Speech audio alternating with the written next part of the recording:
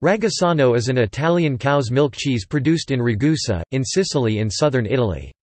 It is a firm stretched curd cheese made with whole milk from cows of the Modicana breed, raised exclusively on fresh grass or hay in the provinces of Ragusa and Syracuse.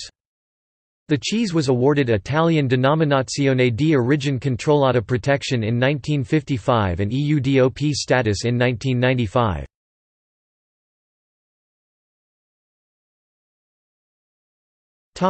See also. List of stretched curd cheeses